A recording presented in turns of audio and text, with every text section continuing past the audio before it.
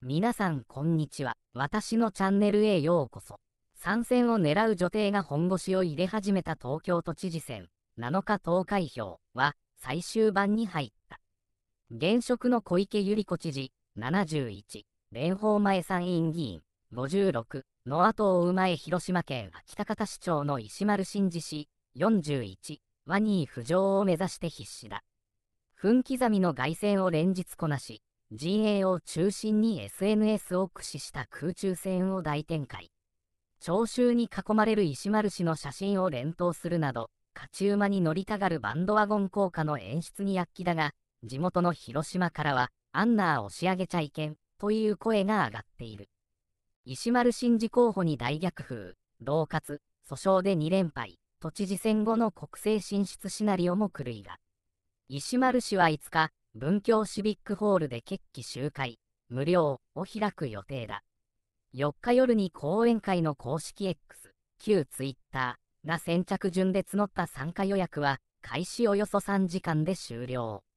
会場の大ホールの定員より少ない1400人に絞っているとはいえ、ほんまかいなのスピード満席だ。女帝もアングリの独裁手法。石丸氏は対話ができない。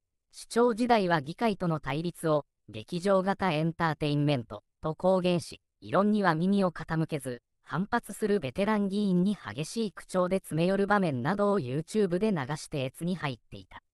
石丸市政の混乱を検証した地元市に対しても横暴で、市長会見は記者クラブ主催にもかかわらず、質問を拒否。会見は宣伝広報の場と化してしまった。正当性を押し通すためには手段を選ばない。アンナー知事に押し上げちゃいけん。地元メディア関係者。女帝もアングリの独裁手法。小池知事もお抱えメディア以外の取材を極力排除するものの、質問者を事前に選別するなど、露骨にならないよう適度に差配をしている。訴訟4連敗もむべなるかな。石丸氏は、恫喝されたと X で晒した市議とのほか、市長選のポスター制作費の一部未払いをめぐっても広島高裁で敗訴。訴訟への功を削ぐため、バイトを雇って切り抜き動画を拡散し、石丸人気を演出した疑惑もくすぶっている。余波は思わぬところに飛び火。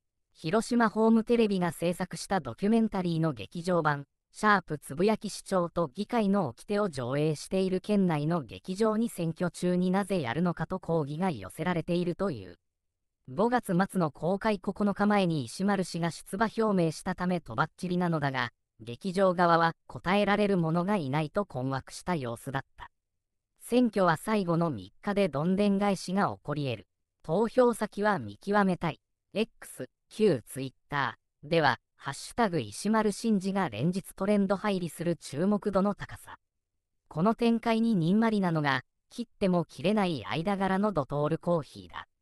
関連記事、もっと読む。では、石丸氏の後援会長についたドトール創業者の鳥羽博道名誉会長について詳しく報じている。どう思いますか？気に入っていただけると嬉しいです。また次回お会いしましょう。